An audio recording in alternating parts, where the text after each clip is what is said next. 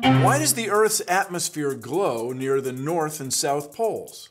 Well, please consider the following. Consider following. Consider following. The Earth is made mostly of iron.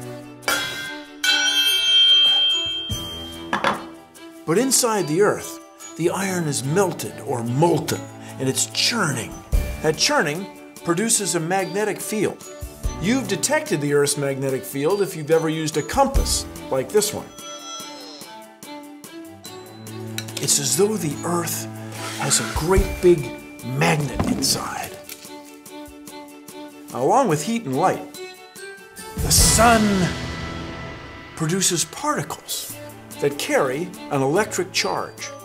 The moving electric charges produce a magnetic field of their own, so they're attracted to the Earth's magnetic field. Near the North and South Pole, the field is concentrated, and it pulls the particles almost straight down through the atmosphere.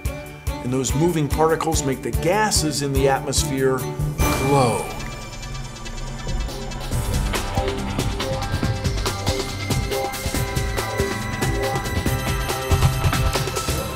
Above the Earth's north pole, we call it aurora borealis.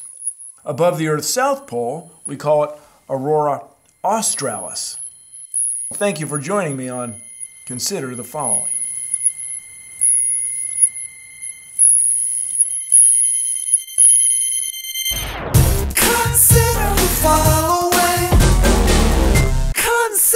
Following.